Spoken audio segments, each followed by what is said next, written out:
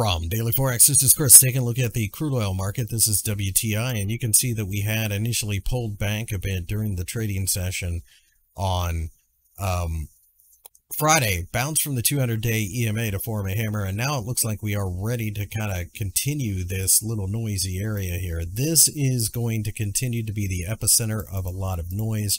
If we can break this uptrend line, then maybe we can go to 110 or so. If we break down below the Friday candlestick, that opens up a huge move down to 80. In the meantime, back and forth trading probably have a short-term bounce ahead of us.